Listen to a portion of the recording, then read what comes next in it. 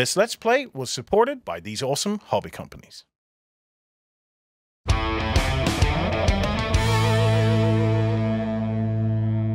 Hello, everybody, and welcome to Let's Play. And this week we are joined by the folks uh, from Cubicle 7. So I'm joined by Dave and Zach, and we're going to be exploring the wonderful world of Doctor Who. But this is a upcoming version for 5e. So, uh, Zach, great to have you with us once again. And I understand you're going to be our games master for our wanderings through time and space. I'm going to do my best to corral you. Um, I know what it's like to give a group like this a TARDIS, uh, um, but I'm very excited to see what's going to happen. Um, but yeah, this is the upcoming uh, Doctors and Daleks, which is kind of a, a bit of a combination between the Doctor Who role playing game and uh, uses the fifth edition basic rules mm-hmm. um, and a load of like new mechanics and new little twists and things. Uh, it should be really, really fun. Okay, so it should be easy enough for people to follow along if they know fifth edition, um, and then anything that's un, unusual or surreal, uh, you can chime in and let us know exactly what we should be doing. Uh, generally, yeah. with the phrase "put that sonic screwdriver down and move away" from the console. well, we're going to start with time travel uh, whenever we start running, so um, we expect uh, quite a few new mechanics and new little twists. But yeah, it should be fully familiar to anyone who's played any 5 We've tried to make it as easy as possible to get into. Okay. Um, so, my companions on this journey then, uh, Ben, you are going to be playing. Uh, yeah, so I'm going to be playing as Bill Potts, who a lot of people will remember uh, from the Peter, Peter Capaldi uh, Doctor era, so the 12th Doctor. So I'll be playing as her, which is pretty awesome. Mm-hmm. So yeah, she is the the stalwart within the uh, the group, the student. So yeah. Excellent. And Dave, you are? I'm playing uh, Graham, uh, who is companion to the 13th Doctor, um, played by the awesome Bradley Walsh, um, who is a uh, an empath, um, technically the elder, because um, I figured, you know, grumpy middle-aged northern man, that's just me. and I'm playing Perfect. the fourth Doctor.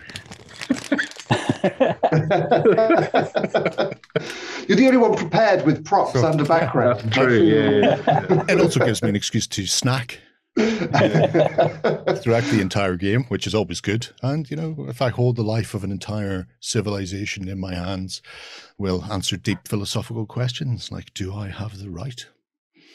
But uh, without further ado, uh, it's over to Zach, and you can get us into time and space.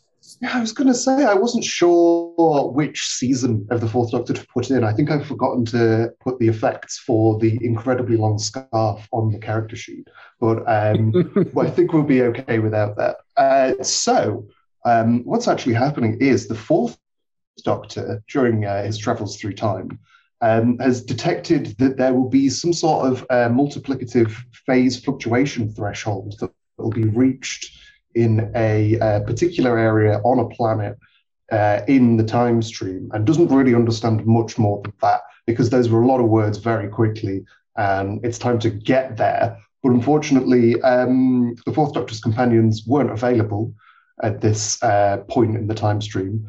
So he's kind of uh, gone all over the place and picked up a few people that he knows his future self trusts so might as well bring them along for the ride and see if they can uh, solve this problem.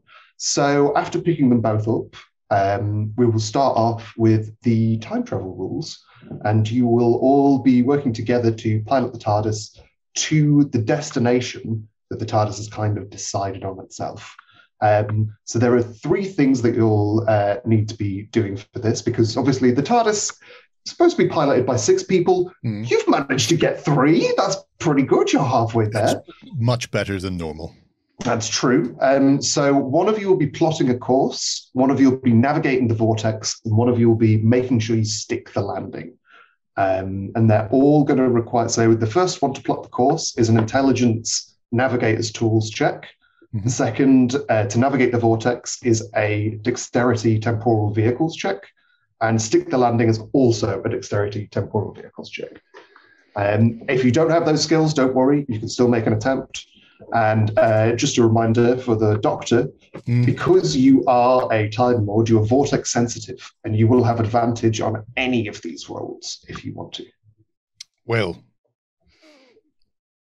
obviously, nobody gets to crash the TARDIS except me.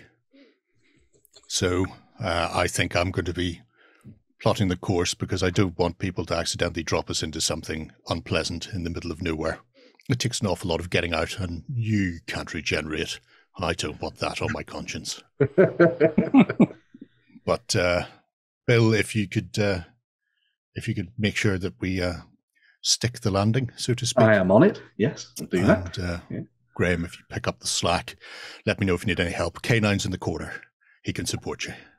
I, I've been driving a bus for years. I, surely this can't be that different. Although I'm used to it being sort of more amber and crystalline than this, but you know, sure it'll be fine. Oh no, we're we're svelte. We're we don't need any of that frippery. Believe me, that this has got me around there and back again uh, on many occasions. So you don't need to worry about all of the fancy doodads and glowing bits that uh, my future self may or may not want to add. It's terrible, really. Good enough for years.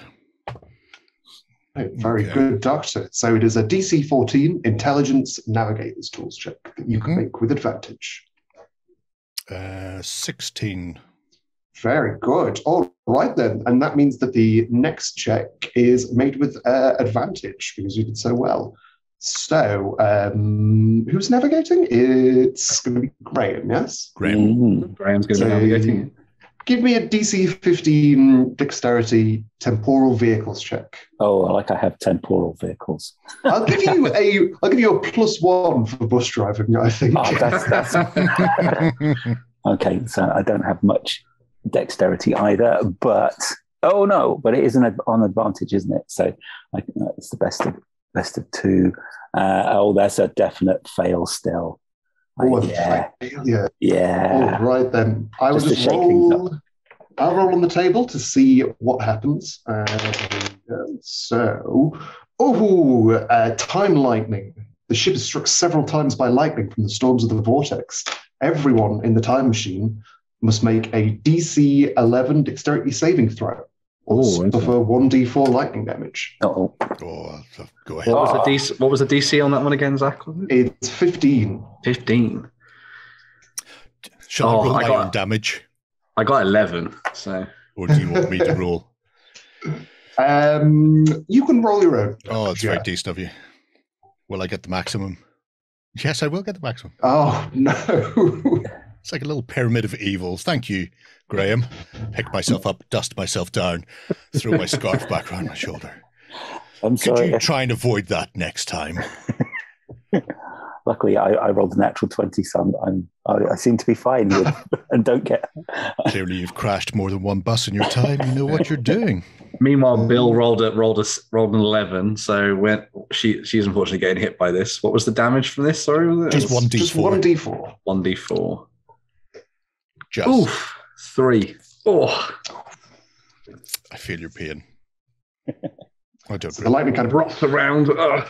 yeah, the TARDIS actually um, it was rocking around a lot before this, and there was actually a, a one moment of calm as you heard kind of cracking thunder go through it. But that was even more of something that threw you off and caused you to kind of bash your heads a little bit. I don't, I don't know what I touched. I'm sorry. I'm, I'm no. I'll, I'll go and sit in the corner. No, I'll, I'll pull myself up to the console to take a look to see what exactly Graham's done to my beloved ship. Ship seems fine. Ship seems fine, but it's down to Bill now to uh, make the DC 15 Dexterity Temporal Vehicles check.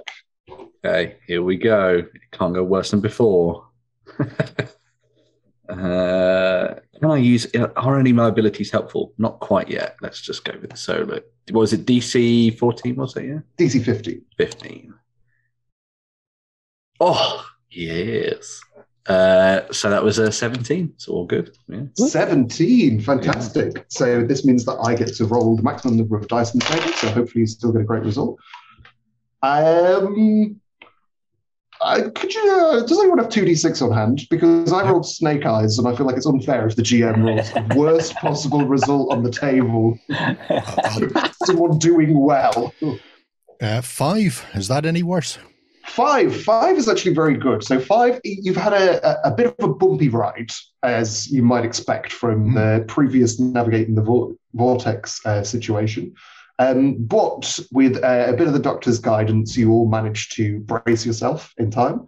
Um, and the tire, uh, and you uh, hear a quite a loud crunching sound. Um, Graham, you're actually quite familiar with it as like a gear stick crunching, but more timey wimey. Um, so- TARDIS might be a bit broken, but otherwise, you've all landed and you're all fine and healthy, other than a little bit shook up. And uh, yeah, the TARDIS panels are flashing that like the multiplicative phase fluctuation threshold is uh, going to be imminently reached unless the Doctor either does something or doesn't intervene. It's quite hard to tell. But they uh, advise you to get out of there because the atmosphere is breathable and uh, you've got work to do. I find these things generally sort themselves out. I walk over to my little hat rack, take my pork pie hat, drop it on my head, cross my massive curls, and walk to the door and open it very gingerly, just peering out. Uh, Bill's gonna s- s- s- sort her jacket and then run up behind the doctor and just poke her head out straight away. She's brave and confident, so she's gonna sneak around and have a look and see what's outside. So yeah. All All right. right. Mm. You two see a, a, a forest. It looks uh, quite tropical. Um, it's very warm, quite muggy. There's quite a lot of uh, moisture in the air. Um, huge amount of plant life. And it just seems very kind of uh, foresty and nice. Uh, both of you can make me a um, either an intelligence science or history check to kind of see, try and learn some more about your environment. See if you can place it in time Mhm. or like where these plants have come from, what kind they are. Uh, got a crit, so in total that Ooh. is uh, twenty-four. Um, Mm, so, show yeah. off. 15. 15 on my history.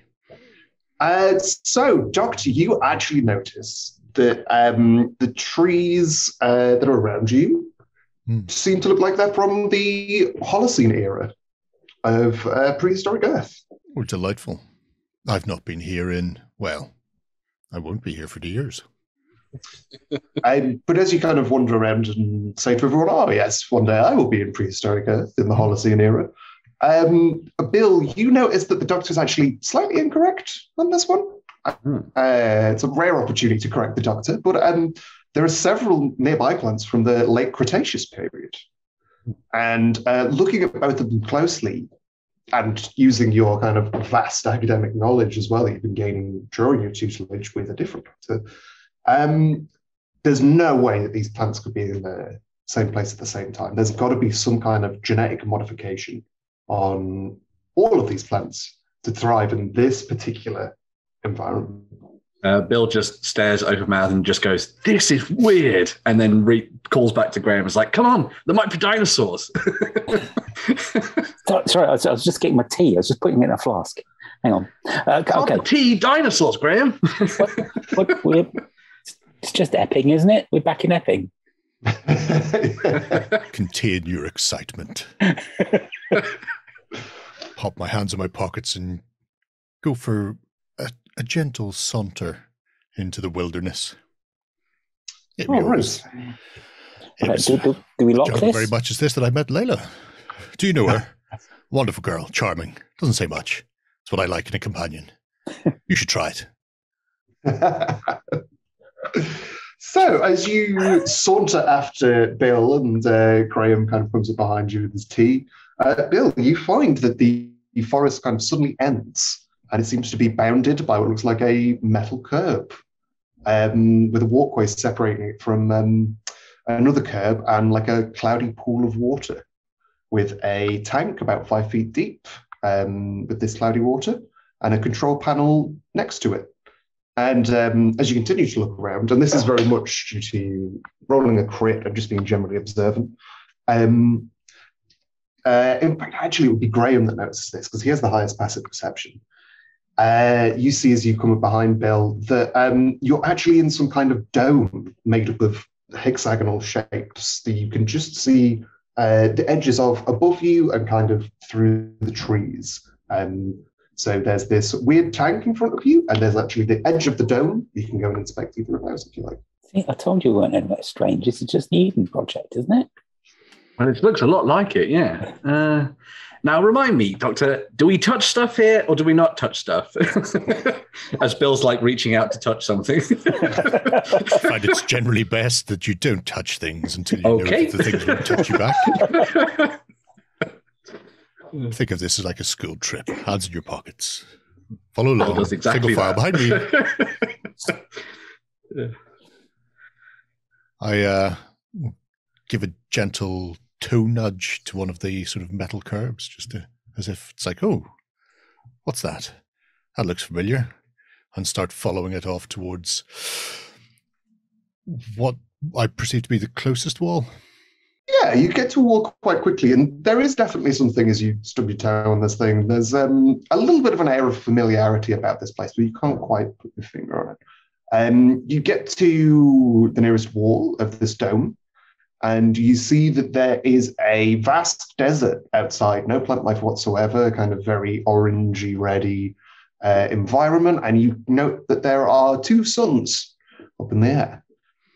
Um, and just as you wait for this, you kind of, uh, because you're not the, let's see, uh, yeah, not the most observant, unfortunately. Um, a, uh, you're kind of transfixed by these suns in the desert and thinking about like the technology, how nice it is that there's this kind of um, paradise-like environment. And then a uh, 10 foot tall dinosaur slams up against the side of the dome and starts scratching at it, trying to uh, get to you. And it's quite frightening, but um, doesn't seem to make a dent. Um, and you notice that these two strange floating orbs resembling sea urchins kind of float along behind it and shift colors from like a deep turquoise to a red and shoot like laser beams at this giant raptor type thing until it goes away. Like a defense system, keeping the riffraff and scavengers away. I approve. Do they have one of those at your Eden project, Graham? Um, I, only for the younger kids. Oh, okay. well, clearly this has been uh, put here for a reason. Looking at the twin suns and the, uh, I suppose, habitat that we're in, assuming it's not some sort of unusual zoo, do I have any clue what this could be? Hmm. Uh, I would say make me a DC 13 intelligence science check. It's possible. It's not. oh yes. Uh, Harry's habitats like these. We see them on comes back to tattooing all the save us. time. Uh, let's go and find the inhabitants of this delightful place. Uh, just pick a direction, and with all the Yeah. confidence of somebody who knows exactly where they're going, walk straight into the middle of the jungle. Keep up. Grant, absolutely. Um, as you behind the start doctor, yeah. walking, yeah, yeah. Yeah, very good. As you start walking in what might be uh, some form of pathetic fallacy, the sprinklers turn on and it starts to get quite wet in here. Um, and you see uh, just in the distance, kind of through some of the trees, what looks to be a human wearing a tunic and sandals. Uh, seems to be working the plants, picking some, examining some of the others, doing a little bit of clipping. Gardener. That's good. I, I shall heal this stout fellow. Hello. We seem to have got a tiny bit lost. We were looking for the control panel. Can you help us? and the rises and you can see that he's about six foot four. As you said stout he's broadly built and seems to be very muscular um, with like a high forehead quite a handsome kind of um, aquiline like ancient style handsome face. Mhm. um, but incredibly maudlin looking. And he just says oh hello um, what sorry what did you say Uh, the control panel, the, the control room. We, we need to get to it. I've been sent to fix it. There's an issue. There's nothing to worry about. You can go back to your plants when you show me where it is. Everyone Oh. upstairs knows all about it. Don't worry. Control, control. What? What is that? Never mind. Um, Really? Yes. Quite delicious. I, I I should stick to the, the mandated supplies. Um, yes, of of course. The command room, the main dome in the promenade is over that way. I'll take you over and open the doors. And oh, he kind that's of terrific. Isn't that terrific, Bill? Graham, isn't this a wonderful thing? Yeah, it's amazing. Uh, We'll definitely recommend you to your superiors. Doesn't sound too happy. Maybe there'll be accommodation in it for you. Well, I'm quite happy where I am as long as they let me stick around for my due time, you know. It's, it's uh, fantastic to hear. Have you been here long? Happy in your work, you seem to be. Um, well, yes, everyone was born here and lives here. We, are, are you not from here? Oh, of course. Just from a little way over there. Not from right here, where you're standing with this leaf. That would be Uh, insane. You'd have noticed it before now. That's a good and strange and confusing point. Certainly distracting. Um, you are all, well, you particularly, he points at you, Graham, you look very strange and unusual. Are you sure you're from around here? Like your clothes are all weird and your face is kind of scrunchy. Well, that's one way of putting it. I've not heard it hmm. go flat before. What's wrong with my face? Nothing. It's, It's just the only one he's different. got. It's a fair point. Anyway, you're going to take us to the control room? Yes. Well, look, I, I'm not permitted to go there. I still have to do my daily activities, but I'll let you Oh. into the promenade and you'll be able to, you'll see it. It's right at the top of the dome. Splendid. Isn't that splendid? Splendid. Thank you very much for your time. I'd watch out for that one. It looks like it has a little bit of aphid on it. We should probably deal with that. You don't want them getting out of hand. They can be a complete blighter. Oh, I'll, I'll bring that up. Yes, thank you. This is incredible news. Um, perhaps they'd be good for eating, maybe? Well, you can't beat a good jelly baby, but, you know, if your push comes to a shove, why not try an aphid or three? They're very slimming. I'll, I'll, I'll make sure to let the agricultural team know. They'll be thrilled. Thrilled. Thank you so much. Fantastic. as we go And, uh, as as we go to leave, Bill sort of like turns around to the the gentleman and just says, "By the way, mate, what's your name?" oh, my name's Tarek. Tarek. Nice to meet you. I'm Bill. Nice to meet you, Bill. Um, yes. And uh, it leads you to a um, just to the edge of the dome where it kind of connects to another through a little tube into the a much larger dome that you can't really see the inside of because of the reflections from the two suns. Mhm. Um, but you're led into this huge dome um, which seems to be the main center of this place. Uh, it's la- lined with like large primeval trees everywhere. They're practically bl- blanketing the roof, except for an inverted dome at the top of the dome, which you can see there is stairs leading up to, um, which Tarek points out as the control room.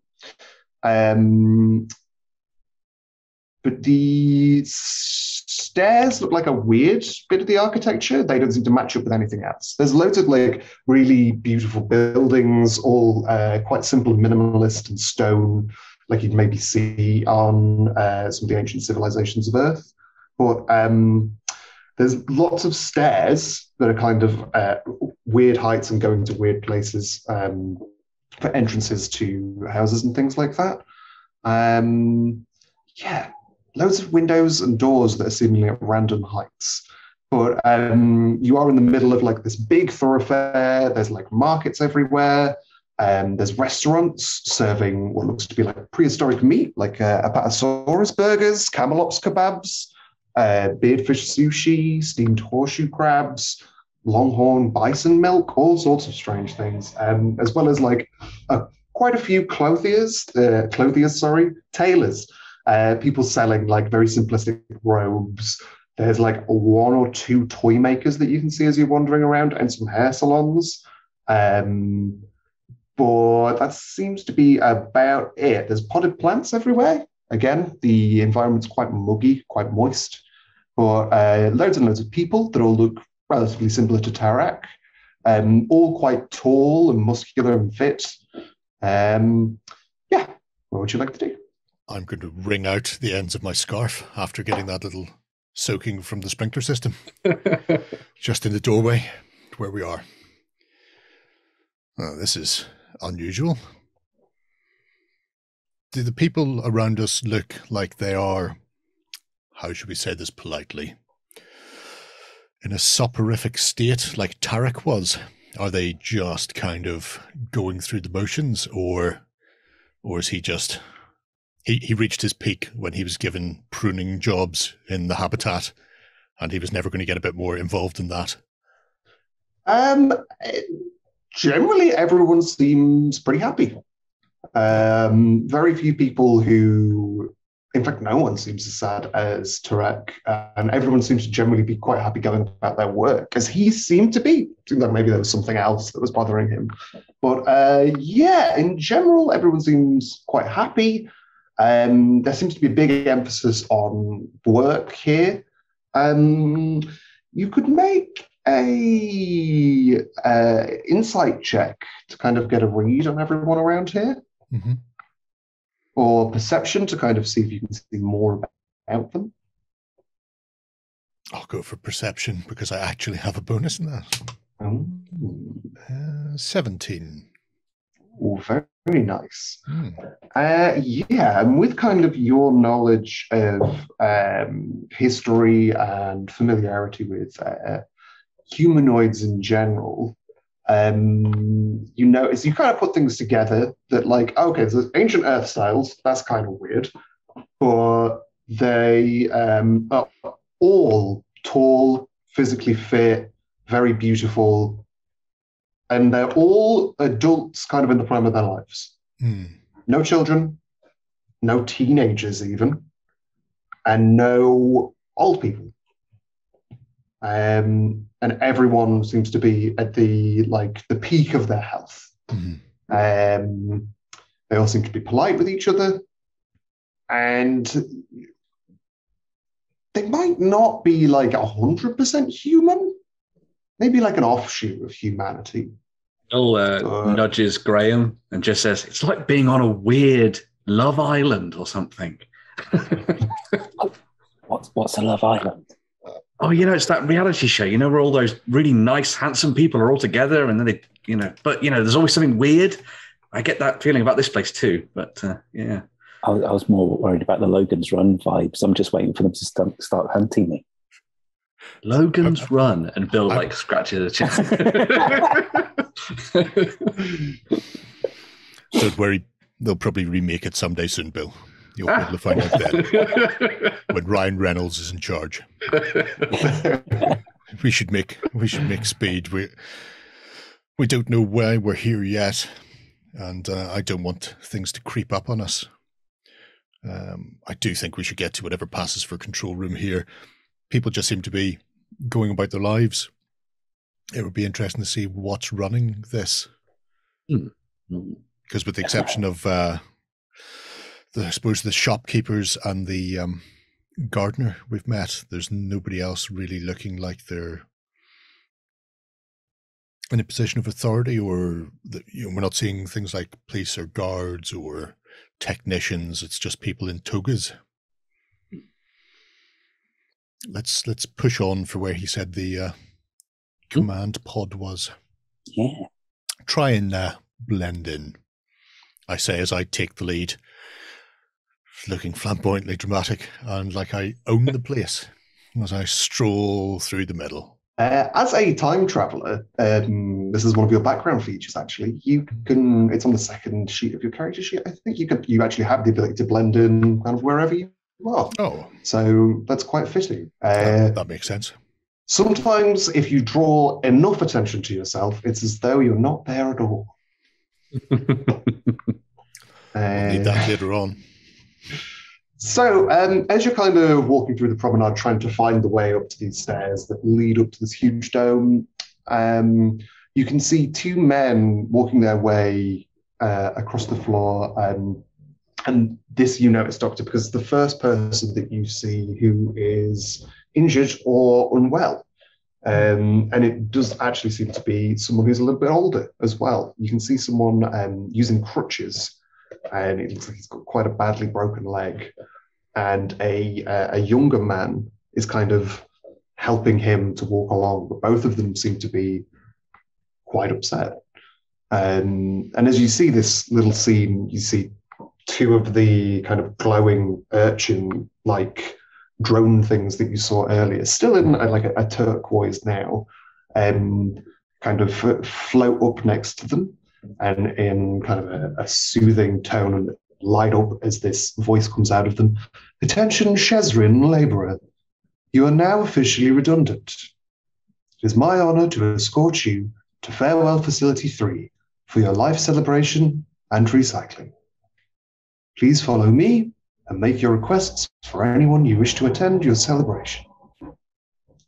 Um, and as uh, the kind of strange sea urchin relays this, you can see both of the, the men, the older one and the younger one, supporting him, kind of openly sob. And um, the passers by kind of sympathetically shake their heads. Um, but yeah, that's what happens on the way. Um, so you can kind of interact with them if you want to, or you can make me a perception check to kind of uh, find your way to the control room. Oh, if, if they're close enough, uh, I'm definitely going to go across and uh, hmm. see yeah. how they're doing. Doctor uh, uh, Bill sort of like nudges the doctor and is like, "Did they say he was going to be recycled?" Yeah. It did sound like that, yes. We need to keep them away from Graham then.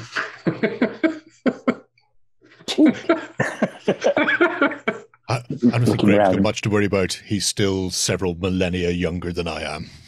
Let's push on, shall we? Age is just a concept that you humans have come up with to uh, deem people unfit for proper work. That's all I say. And it seems like they've taken it to extremes here. Savrin, was that the fella's name? It was Shezrin. Shezrin. As you kind of go up to him and he just says, Oh, hello. Hello, Shezrin.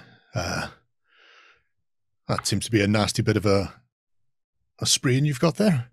Is is uh, everything okay? Yeah, it's just an accident in the in the in the western fields. It won't be bothering you much longer, I'm sure. Is that the uh, redundancy coming in? Not not one for being made redundant myself. There's always so much to do, so little time. time, yes. Yes, Yes, always precious little of it. Um, I, I, I'm, I'm, I'm honoured that I can continue to to serve paradise after my celebration. Do you hear that, Graham? It is Eden after all. uh, so your celebration, you don't seem to be. Uh, oh, how can we best put this? Particularly keen on it. Well, all lives must end. And if I cannot serve paradise alive, then it's only right that I serve it another way. Hmm. It's just a broken leg. Can't I, can't I fix that? I mean, I, I've got through like, I'm in remission from cancer. I mean, that's that's that's just a broken leg. I mean, uh, surely they can fix that. I, I don't know anyone who would be able to. Besides, it's my time. You don't have any doctors here? I, uh, I don't think I know what that is. Excuse me. What you know, a uh, doctor? You know, a medical professional who heals wounds and makes people better. Oh. Both of them kind of look at each other in like a, a little bit, like, uh, who are you people again? This seems very technicians strange. here to fix right. an issue that you've got. Don't don't worry about that. Okay. I would have that leg seen to though, before you go to your redundancy party. You're not going to be up to much dancing otherwise. Would you like a jelly baby? Ruffle my bag under his nose. Uh, yeah, he does take a jelly baby. Let me just look up the effects of jelly baby. Utter joy. Not sponsored by Jelly Baby. I'll uh, as he's as he's nibbling on a jelly baby, I'll slowly take a, a walk round him, like somebody buying a horse, just uh, giving him once over, up and down. You said he appeared to be, apart from the the crutches, he looked a little bit older than Yeah. other people we've seen so far. Are we talking decade older or just a few years? If, if, if most people are around about 30 to 40, is he sort of creeping up on 60 or is he in his 50s or? Probably a bit less. I think most people 20 to 30, and he looks like he's verging on 40. Oh, my word. Youngster. Have you found my aw- awesome jelly babiness? This is very nice and it is making me feel better, but it doesn't change what's going to happen. Yes. Um, Maybe we can speak to someone in charge, you know, work out how to help him. I'll tell you what will happen. You you have to go off to get ready for your party, but you can have you can have guests. Yes. Yes, yes, but on our way now, it should Oh, start. you should in- definitely you should definitely add me and my companions to your list. We wouldn't miss a party for the world. Um, okay, um, what are your names? And uh, as he says that, the two um, sea urchin type drone Mhm. orb things kind of return and say, Attention, Shezrin Laborer. You are now officially redundant. Please move to Farewell Facility 3 post haste, or you will be forced to begin your life celebration and recycle immediately. Make any requests for anyone you wish to attend celebration. Oh, that's excellent. I look up the urchin. I'm so glad you're here to add us to the guest list. Um, that'll be the doctor, uh, capital D, small r. And then I'm joined by uh, Bill and Graham. You, you Wave at the urchin. just add us to that. That that would be terrific. Thank you. Splendid. Don't let us detain you. Here we go. Yeah, Shezrin repeats your names, and um, the urchin things do not go. They actually escort all uh, five of you now to a, Oh. uh, a cheerfully decorated kind of. It looks like a kind of a stone igloo Mhm. inside this big dome. They lead you inside, and uh, there's kind of a cheerfully decorated interior, the circular room. Um, there's a ring of decorative pillars that have uh, kind of murals of forests painted on them. And it's kind of like Stonehenge in the way that it's put together in a ring. Um, the room uh, has several tables and chairs arranged around a dancing area. And um, there are quite a few adults that look at Shezrin, kind of nod and raise drinks that look like they're from like stone earthenware cups Mhm. um, and are eating simple food. Um, in the center of the room, there's like a, a raised dais, and you can hear like the really strong rhythmic, uh, polyrhythmic music, Mhm. like um, quite kind of tribal stuff, in on differently sized and shaped percussion instruments made from like animal skins and leaves and things, wood. Um, and there is a hex-shaped trapdoor in the center of the dais next to a uh, little control panel. Um, as you're kind of ushered in by these urchins, they uh, kind of push Callas and Shezrin up onto this dais. Mhm. Um, and he says, Thank you, everyone, for coming, um, especially you, Callas. Uh, thank you for getting me here.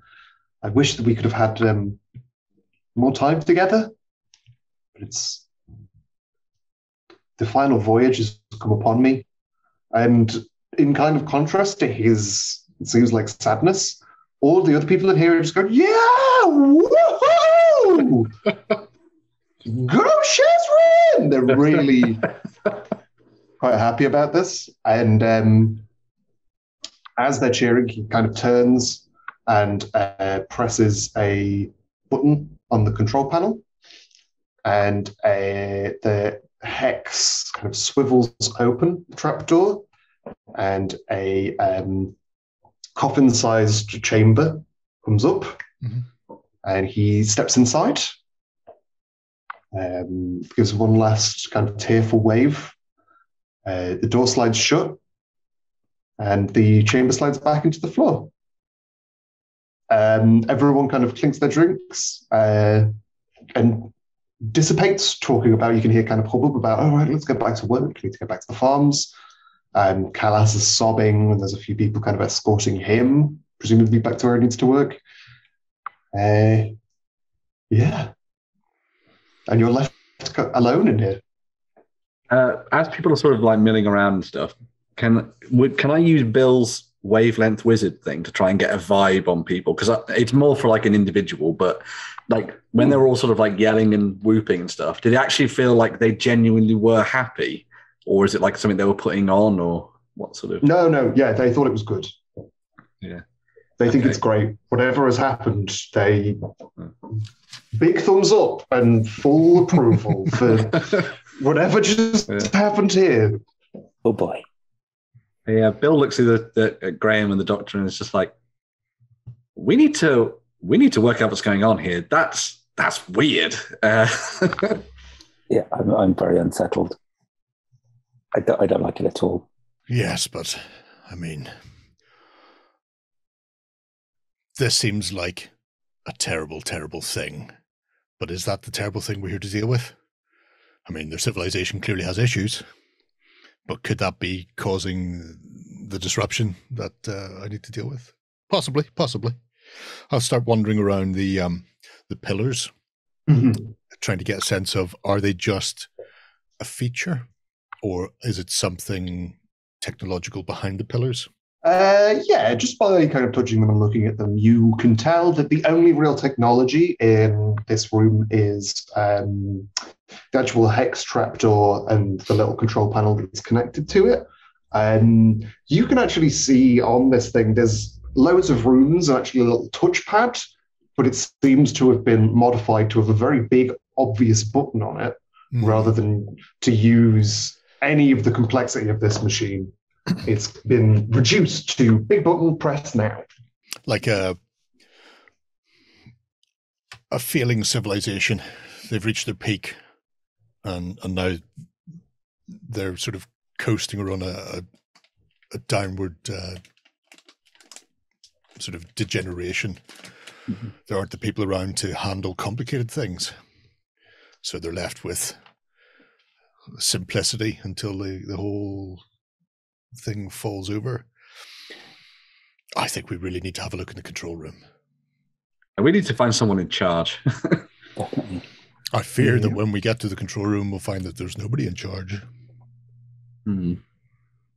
All right. Okay, then. So you kind of look around a bit more, and you do find some um, uh, like a set of stairs that wind around the um, the dome in different ways, but they seem to be guarded by three of these um, kind of sea urchin type floating thingies. And as you come, they say halt and submit to identification. Ah, oh, just go. I'm the doctor. I'm just brass on past. See what happens. okay, let's see what they will do in this situation. No one's ever doctored me that hard before. Have you not met me? uh,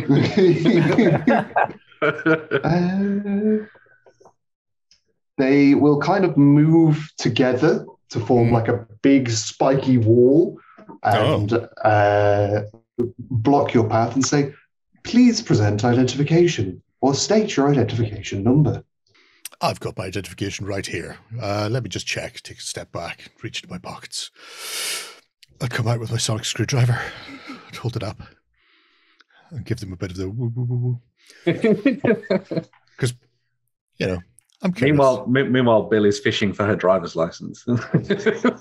just one hand behind me, waving Graham and Bill back down the stairs.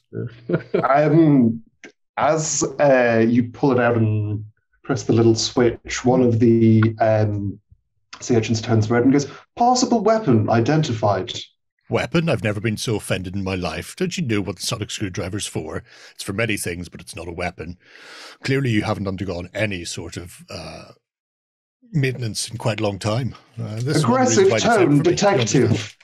Entering stun mode, and uh, we will enter a little encounter here. Oh. Um, Entering stun mode. I love that. okay, so um, a few things about how uh, combat or encounters work in Doctors and Daleks. We prefer to use encounters because um, there's not a lot of traditional fighting. Uh, the big thing that you might have noticed on the first big thing you might notice on your character sheet is that you have plot points Hmm. instead of hit points. Um, and the opponents that you'll face in encounters also have plot points. So this doesn't just measure how much you can get hit, it's also a measure of kind of your resolve, your will to continue. So a disparaging comment can actually deal plot points worth of damage. Hmm. And when you run out of plot points, you might not be unconscious, you might just be, you know, too sad to continue or completely demoralized or taken out of the encounter in some way. And to go along with this, you've probably noticed that your attacks or quips don't deal your classic uh, Dungeons and Dragons bludgeoning, slashing, and piercing damage. Uh, they can deal emotional and logical damage. Um, as long as you're dealing emotional or logical damage, uh, you don't have to worry about actually hurting someone.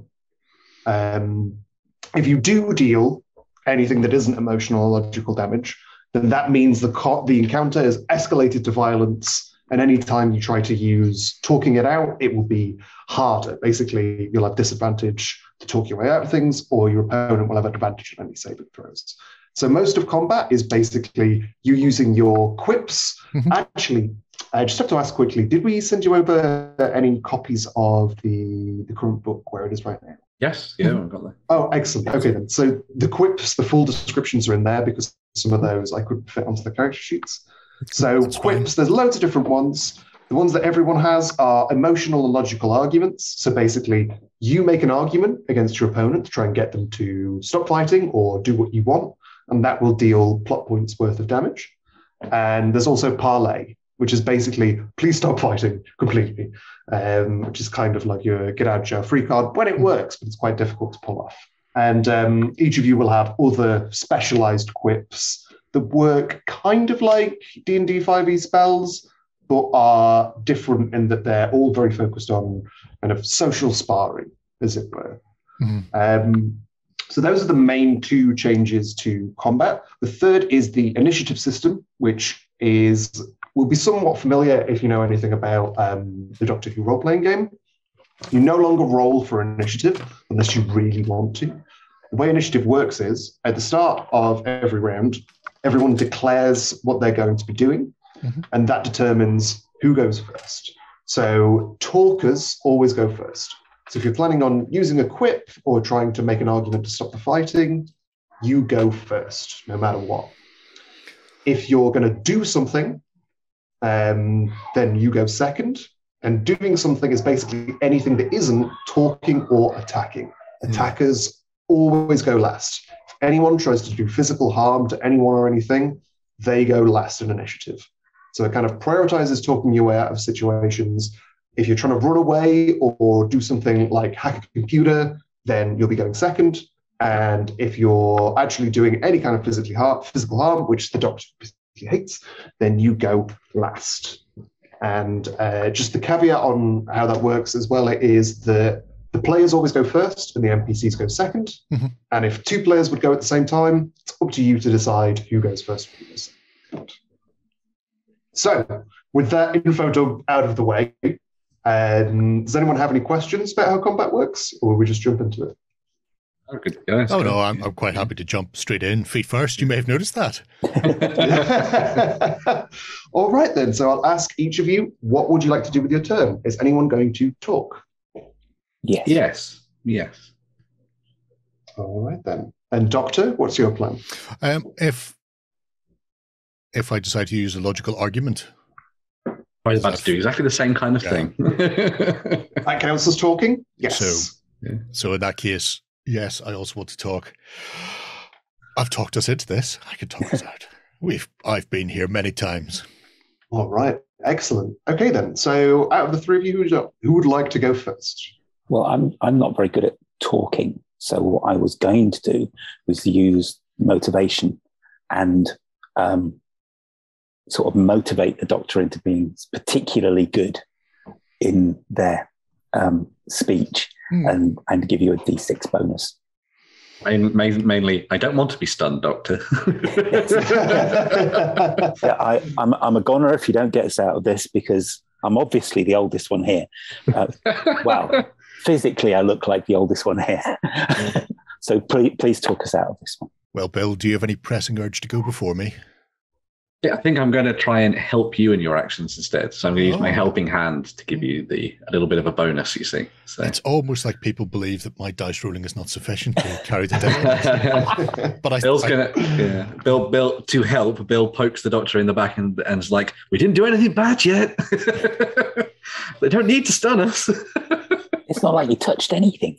exactly. They go, well, my companions will go first um, to offer me aid and succor in this time of need, and then uh, and then it'll be me. uh, and Gerry's going to roll a one. So you're using a logical argument. I'm say? going to use a logical. Well, it's a very simple logical argument. Sea urchins. oh yeah, so it's a DC check for them, isn't You it? know, It's, uh, why would I be here if I hadn't been summoned to be here to fix you? mm. Mm, Otherwise, good I wouldn't be on these stairs. I wouldn't be coming up to the control room. You know, Oh, clearly you've been right. alone for too long. Tiny sea urchins. And you said you get a, a D6 bonus, Graham. Uh, yes, yeah, get a d6 bonus from me for motivating you. Uh, right. Roll a d6 then, and we will subtract it from their uh, saving throw roll. Three. Three. nothing if not average.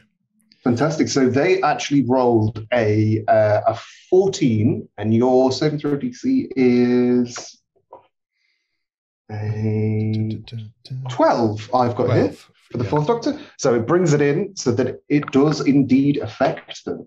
And um, that's a pretty good logical argument. Like, why would I be here if not to fix you? Uh, this is my uh, sea urchin fixing device. Here I am with my tools on these stairs. Otherwise, it makes no sense at all for me to even be up here. So they are actually vulnerable to logical damage because they Ah. are uh, kind of robotic, semi-robotic, like bio constructs. So roll your d6 and you'll do double damage. Ooh, five, so ten. Ooh. 10 damage. Um, just another note on combat. This is more of a behind the scenes thing. But um, how a lot of the encounters work in Doctors and Daleks is the entire encounter has an amount of plot points rather than you have to take down individual enemies. Yeah, that's right. They all share the same pool of resolve. So if you want to talk them down, you can just talk to anyone and it'll bring the whole Yeah. situation Oh, that's- to a close. That's good. Because I'd hate to have to explain this to two very stupid sea urchins after I've dealt with the first one. So, um, two of the sea urchins are indeed trying to also figure out what's going on. Like, they're not very good at making logical arguments, but they just say, You must submit to the needs of paradise and provide us with some kind of identification. Back down now and surrender, or you will be stunned. I know what you mean. Bear with me. You should have said so earlier. This is outrageous. I mean, pop my sonic screwdriver back in my pocket and then root around and uh, bring out my old blockbuster video card membership. There you go. There's my identification. You'll quite like these. Uh, won't be around for long, but uh, very good when they are. Says All right. Doctor. both of those were trying to make a logical argument against you. They are not very good at it. So um, it already seems like you're confident in the face of them. So Hmm. if you could make two um, intelligence saving throws for me. Oh, Okay. they're not on there, but you should have a plus five to that. Survey says, oh, swing and a miss with a big one right off the bat. And the second one, 17 plus 5. So Ah, 22. you're second one's fine. First one, mm, not so much. So for the first one, you are going to take five logic damage. Oh, uh, my plot points are down to 10.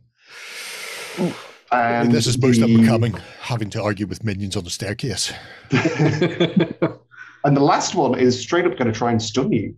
Uh, the one that detected the sonic screwdriver as a weapon seems to be going rogue. Uh, it's clearly the one Uh, most on the fritz and most in need of maintenance. Uh, but they only rolled a 10, which I think is below your armor Yeah. class. And you managed to 12. You managed to jump out of the way, slightly singes the edges of your scarf, but uh, the stun beam does not hit you. So now we're back around to the top of initiative. Who would like to talk? Bill would like to logic them if if if that if, if that's good. Yeah. so go for it. Uh, Bill's going to try and like step in front of the doctor um, and be like, "Whoa, whoa, whoa, whoa, whoa! We don't even know what paradise is. Surely it's best for you to tell us before you stun us." That's a pretty good. Oh, I Bill, like Bill, that.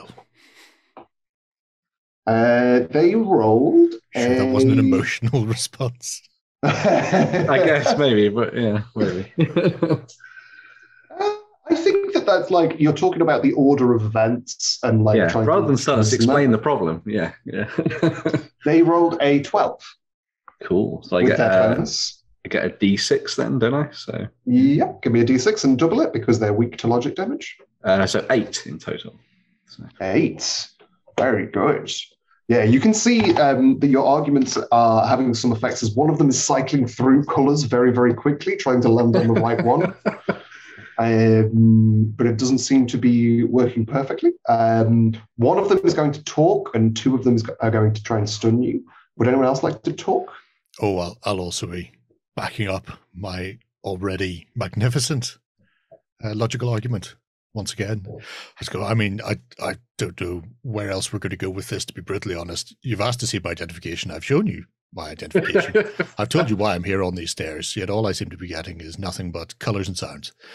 If I'd want to talk to uh, a, a, a simple Simon game, uh, then I would have contacted Tommy. But, you know, uh, really, Eden, you're letting the side down completely, sending out these half-wits. Appeal to authority, very strong. oh, yeah. I am the technician and I am in charge here. Yeah. Uh, all right then. Uh, let's see what they roll. These guys don't roll well. They only got a nine on that one. Um, yeah, give me your logic damage. Mm, eight. Eight. Is that with the double? Well, that's it with double, yeah. Yeah, okay, very good. So, oh, yeah, they're all kind of spinning in weird ways now. Um, and uh, Graham, what would you like to do?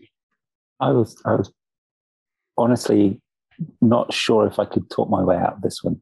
So I was going to back up and start unscrewing the top of my flask. Just in case. just in case. Just I'm- turn I'm- around on the stairs and I'm- just look at Graham drinking his tea and go, fair enough. I was I, I was going to be I'm armed with some lukewarm tea. yeah, yeah. I think that you guys have put yourself into enough of a position of When I hear logical the flask defiance. unscrewing. You've uh, not necessarily defeated these drones. Um, you have confused them using uh, logic to um, frazzle their systems enough that I will say that this encounter is over. You've quipped them pretty hard in classic Doctor Who fashion, and you have a clear path up to the um, top of the control dome. Okay. Alpha through as quick as possible, I reckon. Yeah. Edging up When you've against the finished your wall. picnic, Graham, I'm just t- tightening the top up back up again. I don't, I don't know up. what I'll see in you in the future. It has to be said. I just don't know what I'll see in you. Clearly, you, you're here for a reason, though. Uh, as you kind of make your way up, Graham, you do notice um, that one of the uh, the drones is kind of uh, squeaking out a little bit of um, kind of the information that's left over in its brain, and it says technicians code for security control room five nine five. Um, and it seems uh, that they are actually giving you a code to get Oh. past the security and were somewhat convinced by your um, assertions that you were here to help. It's handy. Hmm. I imagine whenever you went on a union break in the middle of that little foray there, that probably sealed the deal for them. Clearly, he's a technician. It's lunchtime. He's having a cup of tea. And day breaks very important. Very important. So you um, reach the top of this uh, dome, and it's quite a sight below you. All of these kind of strange buildings with the windows and doors and weird places and a lot of plant life. Um, and you manage to open the security door Mhm. and see this large, uh, kind of office-like space. Um, uh, the dome in it is clear, so there's this grand view of all of the city, and they also seem to have a view of the, the not just the deserts that are beyond the dome, the other domes as well. There seems to be patches of them that could be seen through from here, um, and they all seem to be farms. Uh, there's quite a lot of um, control panels, similar to ones that you saw on the streets below, um, all kind of connected up. The tech you notice now is kind of a combination of traditional kind of electronic stuff um, and like coral reefs. It looks like it's quite an interesting system that uses bioelectricity. Um, and you can see three individuals. Um, a uh, a grey-haired, slightly older woman, again quite unusual.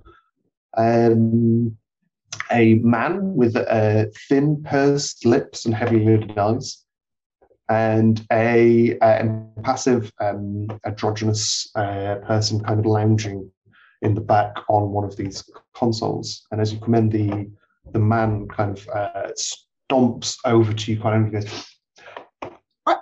Uh, "Who are you, and what are you doing here?" I'm the doctor. I'm supposed to be here. The question is, what are you doing here? You look a bit older than the rest of the people. Should you not have been made redundant by now? Or is redundancy just for the little people below you? That's a ludicrous statement. We are the triumvirate. Oh, you're the triumvirate. Oh, I should have known you were the triumvirate. Turn around and look at my companion and say the triumvirate. See?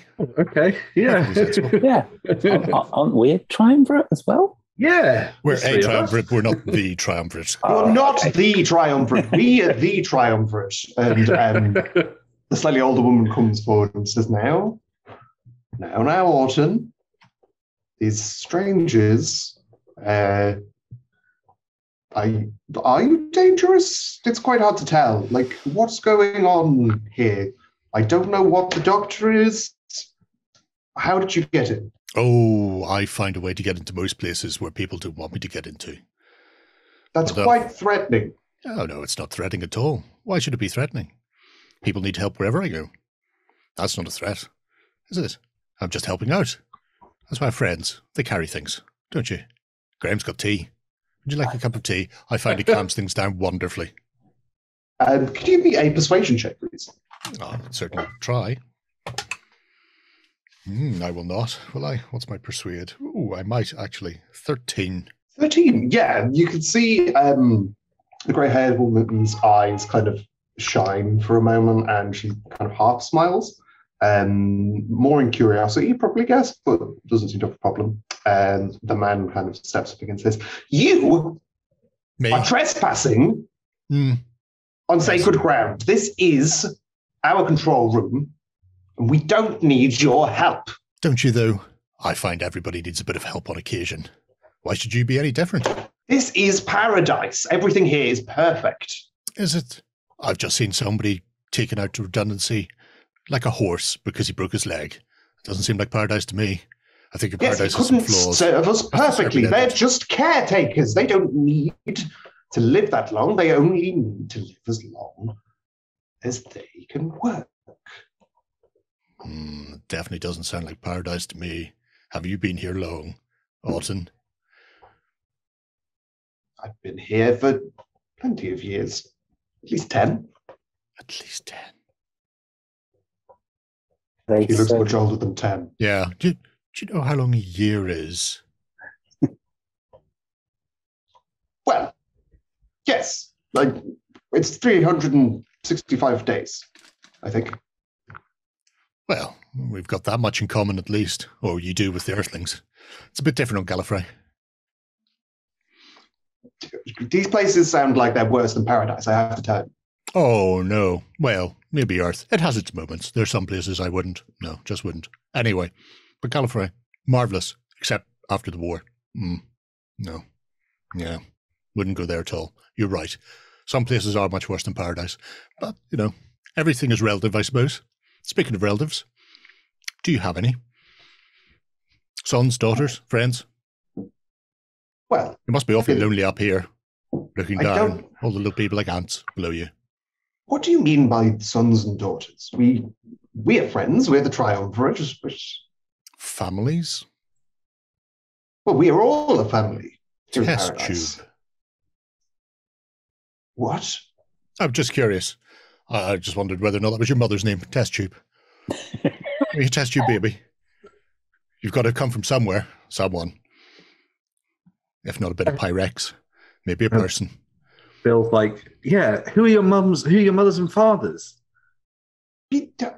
Um, as the as Ortan kind of seethes with rage and confusion, you seem uh, pushed back by the grey-haired woman, and he kind of stomps off again to a computer console. She just says, "Um, you are newcomers here, it seems, and I don't understand a lot of your words, but I believe you're here to help. Um, what are you here to help with?" That is a more interesting question than you know. I feel there's something that's going to happen here at Paradise uh, that could be detrimental for all of you. Uh, so I'm here to make sure that that doesn't happen. Or maybe it will. Maybe I'm here to make sure it does happen. Complicated, isn't it? Yes. Why don't you tell me what you do as part of the triumvirate, and I'll see whether or not I can help you with that. Right. Well, you said about children. Hmm. There, so there are no children in paradise. Children only result from lesser creatures and food stock. Um, the caretakers Like might the have caretakers? been. Well, they might have been animals once, but they're a living a living part of the colony now. We're all part of paradise. Um, and in the background, you kind of hear Autumn go, "The colony is angry with the caretakers for failing to maintain it properly. That's why more of them have to be made redundant." Um, and uh, Alice kind of continues and says that um, the, the, this paradise was built by the first triumvirate centuries ago, and provides for all the needs of the caretakers. And in return, the caretakers protect and maintain it. When they can't do that, they're made redundant so that the paradise can continue to provide for everyone else. Rather circular reasoning there, I feel, from the colony. Colony needs the caretakers because the caretakers need the colony.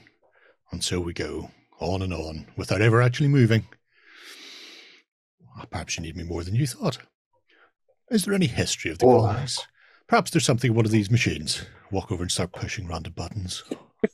One like pushes you off one of the machines and says, "Listen, the, the caretakers can only survive if they contribute to paradise, and paradise can only survive with caretakers that contribute to it. That's how these things work. Once they're no longer useful, they're made redundant. They get a nice life celebration. Isn't that oh. great? I And then that. It was very jolly. a replacement that's ready to work again." Surely it would be easier just to make the people who got hurt better. And build a sort of like pipes up. You know, doctors, medicine. all kind of look at the three look at each other confused, and uh, the one in the back um, raises their hand and goes, "I um, vote for allowing these strangers access to the mainframe. It seems like they know a lot of things. Maybe they can help us with a few of our problems." And Orton uh, and says, "We don't have any problems. Everything is fine, and I vote against these strangers having access to the mainframe." She did say Colony was unhappy. Angry, you said. What Well, we yes, it's- Colony? It's it's it's it's a little it's it's angry. That's why there are so many more redundancies than there used to be. It it sounds like it needs a good hug. Someone to sit down and talk to it. Maybe offer it some uh, some friendly advice. I've met colonies like this before, you know. Stroking the console. There, there. That's a good colony. We're all All friends. I think that you guys, uh, just to convince the final um, member of the triumvirate, if you could make me a, each of you make a persuasion check, just kind of your presence, the things that you've said, they'll represent all of those things. 10. Ten. For people playing along at home, I have a persuasion of 7 plus 7. I'm so bad at rolling d20. Another feeling. I've got I've got a plus four on mine, and I still only rolled nine. oh no, it's down to All Bill. down to Bill. It's all down to Bill. Bill. Yeah. Uh, can I use my wavelength wizard again to try and get a bead on the last guy to try and like work out the best way to kind of persuade him? I think I think it's the lady, isn't it? Or is Yeah, it it's the lady? the lady. Oh, the lady Who- is left. who's currently necking, Um, necking cups of tea. Let What- me. If only you had cookies with you. Biscuits. Graham, did you not offer the lady quick- biscuit? I couldn't find the bit in the TARDIS that that produced the custard creams. Oh. If you've looked in the Danish cookie tin, you would have found a selection of threads and needles. I don't know how that happens. I've never put a thread or a needle in a Danish cookie tin in my life, but they're all like that in the TARDIS. Got a room full of them. You do have mo- more uses of Wavelength Wizard. Um, so, yeah, you can kind of get a read on her. Um, whenever the doctor was kind of talking about solving the problems here and um, talking about the, the potential history of Paradise, you could see that that was doing something like she was um, interested in that. So I'm going to try and persuade her with the idea that I'm going to take out my phone because I've got a smartphone on me and like flick it up and like show all the fancy buttons and all the little widgets on it and things and be like, look at the amazing technology I have. We could have loads of things to teach you, kind of thing. Um, all right, yeah, give me a check with advantage. cool. Uh, so first off is a 14. Oh, sorry. And then the second roll, because it's advantage, isn't it? Oh, both were 14. There we go. Great. Good job you did that. yeah. Um, of says, "Uh, "So, this is a this is like the console." oh, yeah, but it's in the palm of my hand. It's amazing. They grow up so fast, don't they? What did I Races, think? I mean civilizations, not these people. They're still very young. I think I think these Graham. people these people might be able to help. Like, let's allow them to take a look at the the mainframe. And you see Orton have a little tantrum, and he stomps away from the console that you were going to look at. Um, yeah, you can definitely try and muck around with the mainframe of Paradise if you'd like to. Oh, excellent. As I Yeah. start mucking around, I will just talk to the triumvirate. Lovely people. Have you met them? Um, uh, so, how long ago did the uh, colony start throwing these tantrums? Um, so when you're looking through the the, the mainframe, so the, the triumvirate kind of don't know why things have been this bad or why they've been bad for so long. But um, uh, Paradise seems to be on a constant down run after a few centuries. Hmm. Um, give me a intelligence computers check as you're kind of looking through this thing.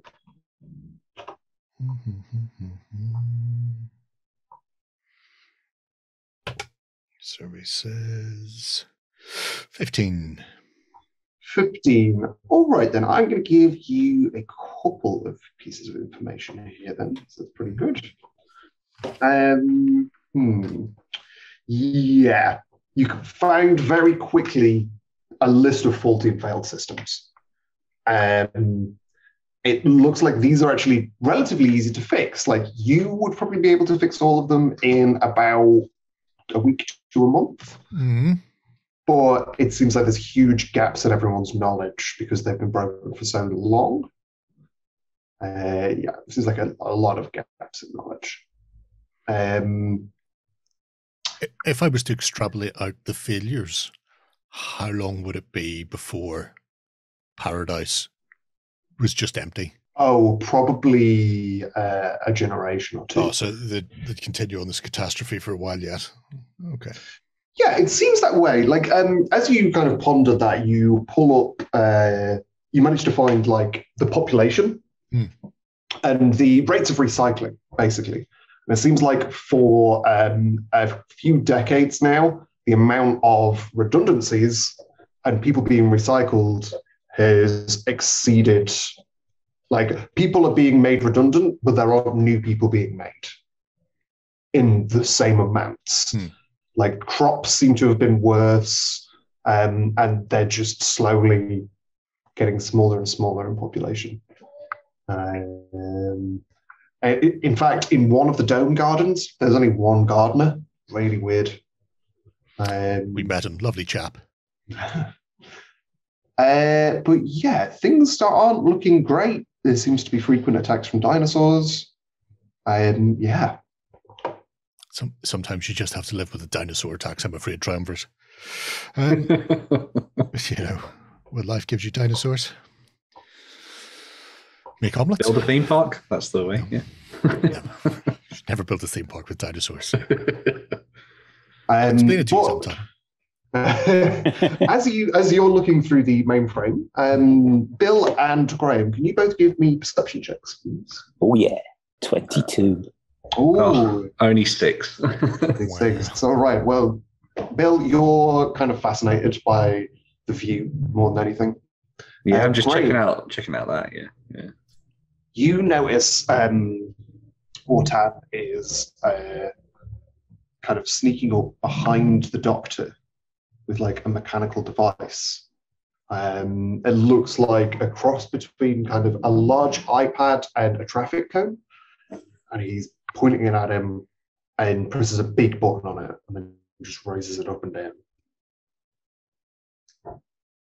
And a small beam of light comes out and washes over the doctor quite quickly. And then in a couple of moments, uh, all the lights in the room go out and the console that you're on, Doctor, stops working. And then a alarm starts blaring, um, an almost organic sounding alarm, just like a Like Then somebody's poked a wheel repeats. with a stick. Yeah, basically, uh, like you did back like eight, 800 years ago. Um, and uh, the red lights start flashing, and the computer uh, shows that uh, it's on a, on a lockdown. And the mainframe itself, as you were kind of conversing with it before, Doctor, uh, it says hostiles have invaded the colony. Uh, Paradise is on lockdown pending orders from the masters. I have confirmation from at least two masters the colony will be sterilized in three hours. All caretakers must congregate in the promenade. Any caretaker who fails to do so in 15 minutes will be considered redundant. Oh, this seems just fantastic. I didn't do it. It wasn't me this time. Honest. Stand up and have a look round, everybody bathed in the rosy glow of red alert lights. Yeah, everyone is panicking. So, you're the triumvirate, but are you the masters? What is going on here? I just scanned you. What what is wrong? You're not caretakers at all. There must be something alien about you. I didn't say I was a caretaker. I told you I was the doctor, and I told you I was here to fix your problems. Well, the mainframe is saying you're a hostile. Mainframe and I were getting on like a house on fire. Hmm, bad terminology. Uh, me and I were getting on very well, I suppose. I don't know what happened. Maybe you do. Do you fancy a jelly Um, baby? You should calm yourself. I should. Uh, uh, he's kind of panicking. We've got three hours. Angrily. This will all sort itself out, I'm sure. When was the last time you or anybody you know heard from a master? As um, you say that to him, you see the, the grey haired woman, Halas, is kind of trying to get into the mainframe. She says, uh, um, My access is denied. It keeps saying that I'm a caretaker. I don't think the triumvirate count as the masters. We've never been called that. I've never heard that word really before. Hmm, well, I've heard, I've heard that word before. Terrible fellow. You wouldn't like him. These other pods that we can see from here, the other habitats, they're not connected to this one, are they? There- There's Yes, the, there's yes. paradise as a as a multi-podded thing, but out on the horizon, did you say beyond the desert we could see others? Uh, give me a perception check. You don't know if you've noticed anything yet. Survey says thirteen again. Lucky for Sam. 13. So you can see that um, what you would consider paradise is a series of interconnected domes, this one being the largest one. Um, you can see there isn't very much on the uh, horizon. Um, it seems to be quite flat. There's a few like um, kind of mountainous formations that look like they could be uh, geysers or hot springs and things like that in the desert, but it looks pretty plain. Um, you can try to uh, negotiate with the mainframe itself. If anyone has any skill with computers or is particularly intelligent, I, I have computers. I have computers, yes, so I can tinker with that. all right. Yeah. Can Give I check. use? Can I use my open-minded ability then as well? So this allows me to uh, pick any skill tool that you. Oh, oh no, I do have a proficiency in it, but my skill, my tech level's probably quite low, I guess. Hmm. Um, so I can I? use, you've been around this technology enough now. You've been here for a couple of hours. Um, I would let you do that. Yeah, Sure. you can So I have. um, I think I get my proficiency bonus like half again, don't I, on the tech check or something with it? that we usually what would happen if you're trying to use technology that's outside of your tech level, you just Okay. always have disadvantage. right. Um, even if it's downwards, so like say if you were trying to use like a flintlock pistol or like a 12th century mill, you Yeah. wouldn't know what you were doing. Yeah. Um, in this case, it's a bit too. It's just weird tech to you, so I'll say that you don't have disadvantage. okay, cool. I'll give it a go. So yeah, roll that. Um, ooh, uh, eighteen. There we go. 18. Yeah, All right. Yeah. You very quickly figure out two things, and Graham, just being generally observant, kind of helps you with the first one. Um, you can see, like from here and from the doctor looking around, that the uh, system is definitely overheating, and um, it seems that, like from looking through the computer systems, all of the power seems to be coming from one dome, from which you can see these huge tubes and what looks to be some kind of nuclear reactor. Um, it's going to overheat uh, within those three hours, and the colony won't just be sterilized, there will be a nuclear explosion. Bill will Bill will pass on that information. Oh, boy. yeah. It looks like it's Um, going to blow, Doctor. Yeah, The it's- can't be having that. mainframe, the mainframe's super calm about this because the mainframe is like the masters are just in the grotto, which is reasonably close by. And that's all it really says. It gives you a location. Um, yeah, Uh, that's so, it. so Bill's going to take a photo of the of the location where the grotto is and directions to the power plant with her phone.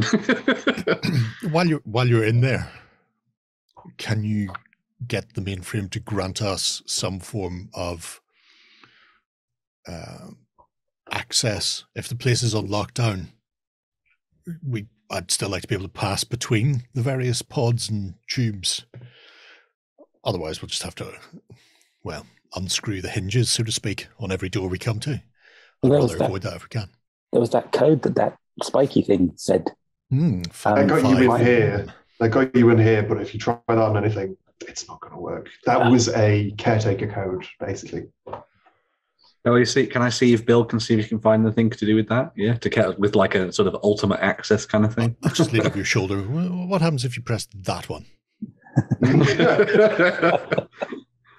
Okay, I will say what we can do here is, um, just based on this point of the adventure, you wouldn't have have time to go to the grotto and to the power plant. Hmm. So what we're going to do is, this is a mechanic. It's it comes up in a few systems, but it's slightly different in Doctors and Daleks. We're going to make a collaborative check, um, and this will be a series of like narrative checks to get you through the security and to the TARDIS. It's kind of like a chase thing.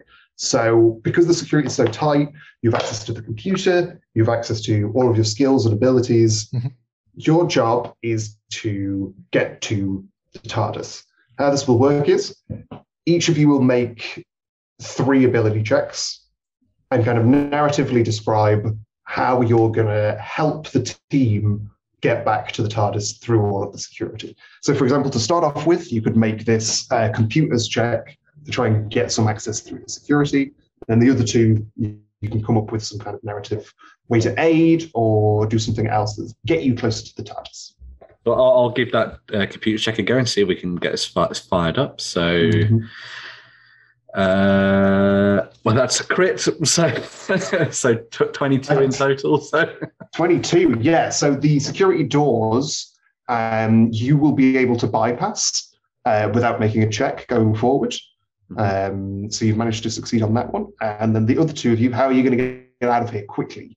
Um, because it seems like the uh, sea urchins things as well are kind of flying around and herding people into the promenade. Uh, perception's my best talent. It's not my best thing. So probably it's going to be a case of spotting where the sea urchins are and um, making sure we can navigate out of there. Plot a plot a course. Yeah, so- have us so run they into don't- any of them. That Yeah. starts us with their vision. Perfect. Give me a perception check. Cool. Okay, so that was uh, 14. Wasn't 14? great. Yeah, yeah. It's a DC 14 check, so Oh. you just about manage it. So you manage to plot a course, and you're getting through the security doors as Bill, as, as you come to each one, just like uh, uses her phone and like holds up against it like a QR code, and then uses the edge of the phone to smash off the control panel and pull a few wires. Now that you understand it and can get past every single one of these doors, uh, Graham's going no that way, no that way. He's remembering all of the different patrol routes that he's seen throughout the day, and you're moving through and in between uh, the buildings of the promenade, like the high windows and the low doors, all of the strange architecture. Uh, Doctor, what are you doing to aid the escape? I will. Luster. I will bask in my companions. Just their sheer genius and ingenuity. Somebody needs to keep a cool head when all of this is going on, you know, and sometimes you bring lucky companions, sometimes you bring spark companions. In my case, I've brought the companions I need to help me uh, do the mission when we get there. Um, if when we get to the TARDIS, though,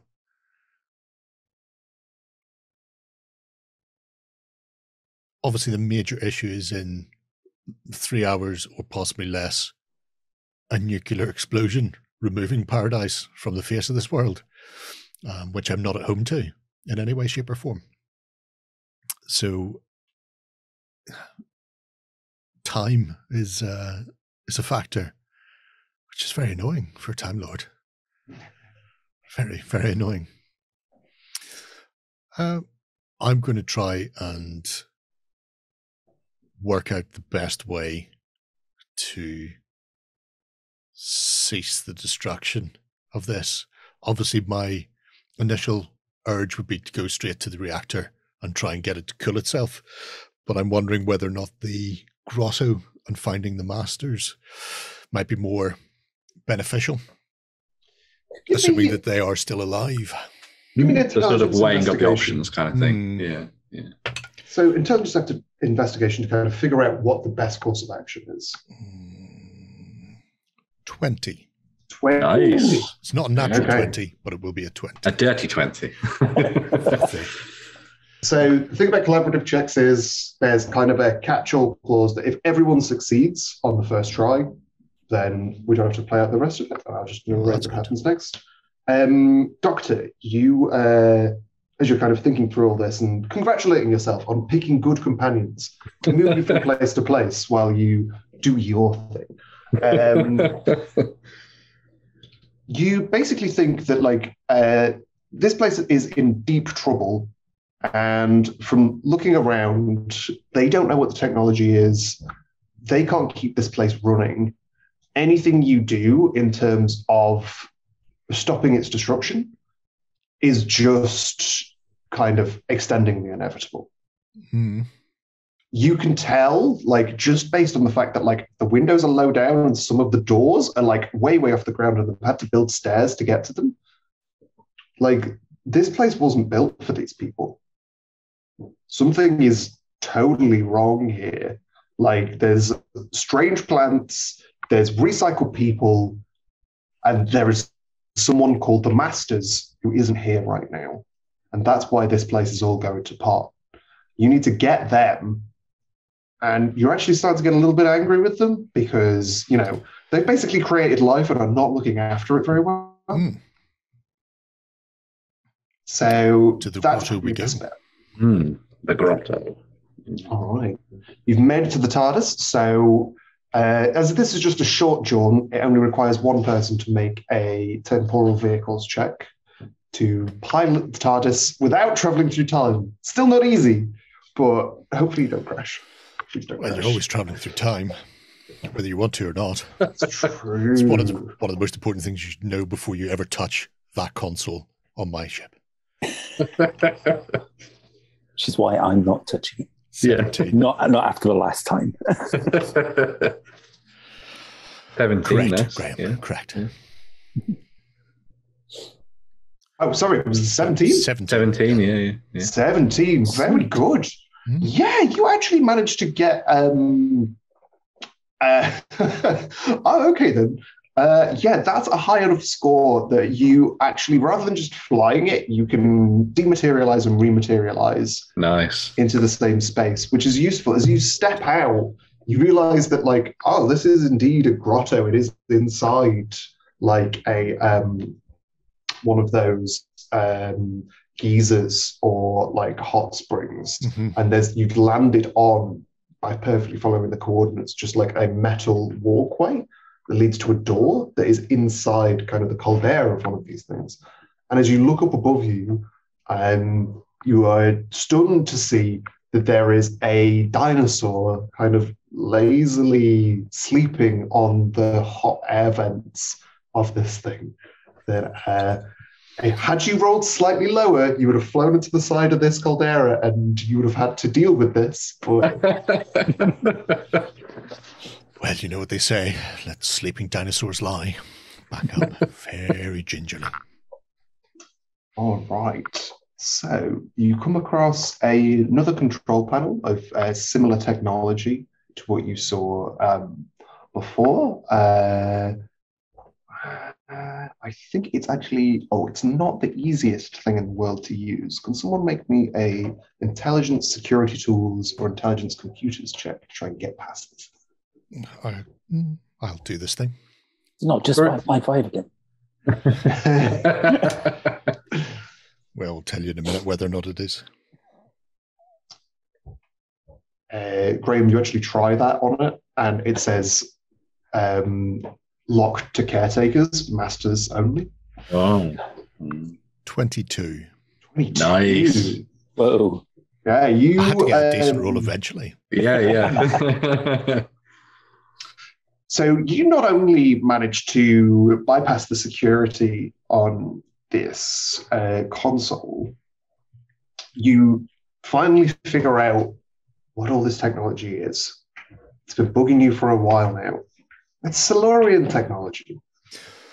Oh, joy. It all makes perfect sense.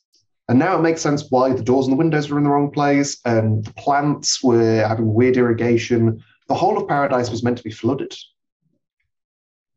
so that the Silurians could swim around. Hmm. Yes.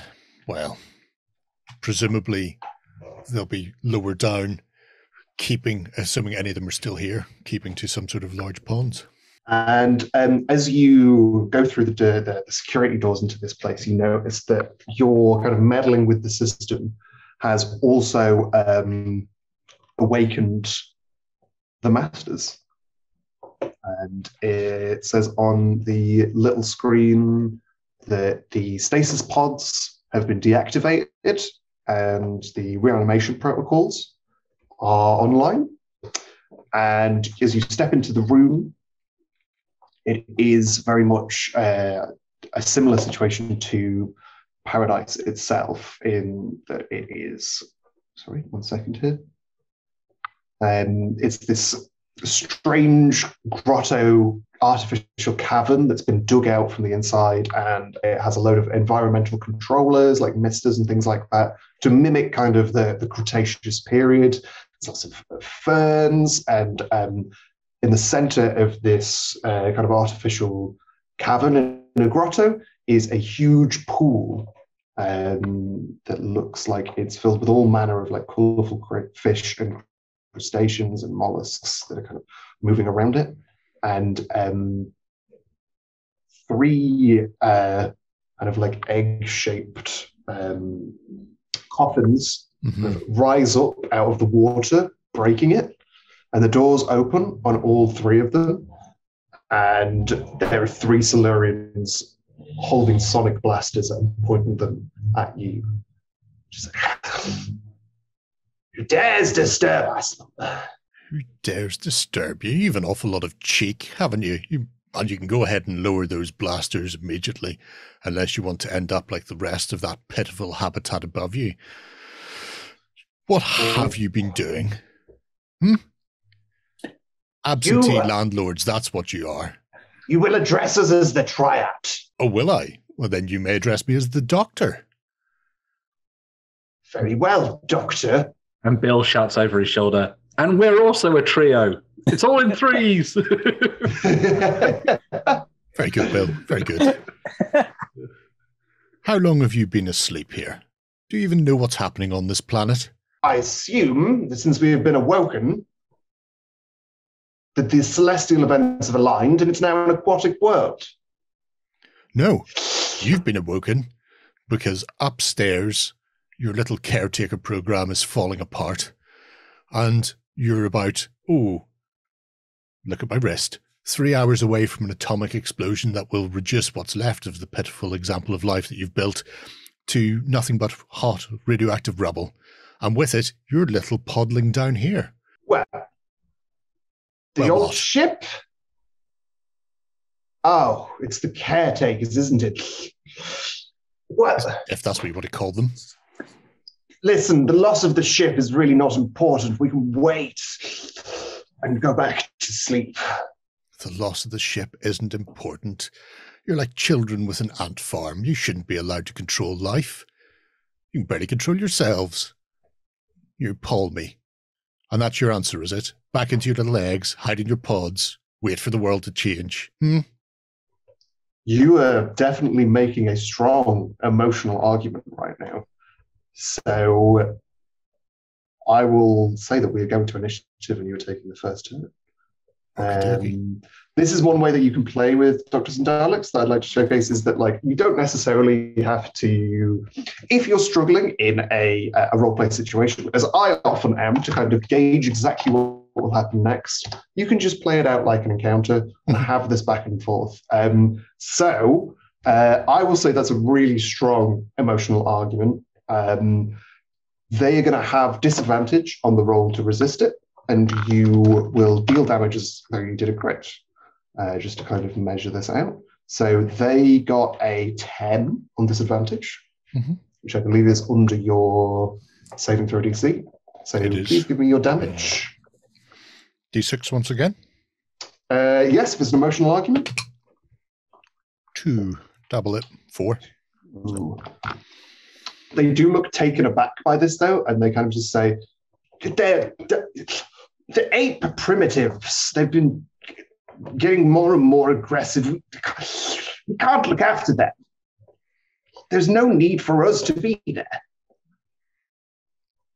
Well, clearly there was a need for you to be there. Otherwise, it wouldn't have got into such a pitiful state of repair. And I use the re- word repair quite wrongly, you understand. Why did you bring them with you in the first place, if your plan was just to hide here in your eggs and wait for the world to turn? They were to be our servants. This was supposed to be a water world, but it became a desert. That's why we've been sleeping. We've been waiting for it to become habitable again. Tragic, truly tragic. The wind changes, the world becomes a desert, and you wait for it to change rather than doing something. You could have led these people. You could have Um. made their life a paradise. Huh. Instead, they've been living in one, and it's just been slowly eating them, generation over generation. Very good. They don't get a saving throw on that.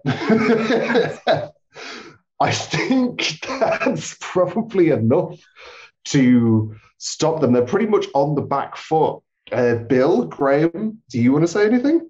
I can't, I, I'm, I'm afraid I might ruin that. That was too cool.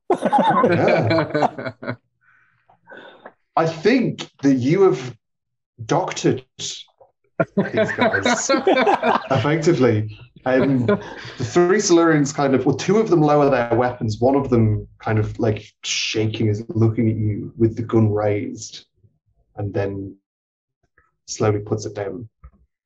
Um, and uh, says, You are more than one of these eight primitives. Me, I suppose that Yes, if we a little bit work, more. could you work with us to rebuild paradise into somewhere where we could live with the caretakers? I can. I will. We'll need two of you to switch off whatever insane defense system that you've built because it seems to want to exterminate all of them upstairs. So if you can switch that off, I'll deal with the reactor. And then afterwards we'll see. You said this was a ship once. Why not find somewhere a bit more hospitable for all of you so you're not having to deal with uh, dinosaurs scraping at your door on a regular basis? Perhaps they can live normal lives in an actual paradise and not this petri dish that you've developed. They uh, look amongst each other and says, usually this would be a matter for trial by combat. Combat. Underwater, of course.